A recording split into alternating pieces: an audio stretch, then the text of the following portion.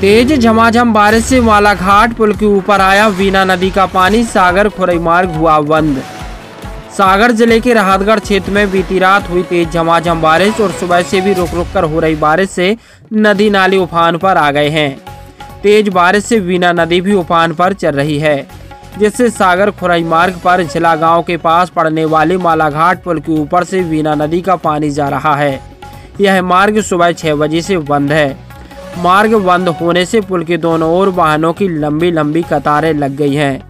यहाँ तक कि स्कूली बच्चे भी स्कूल नहीं जा पाए।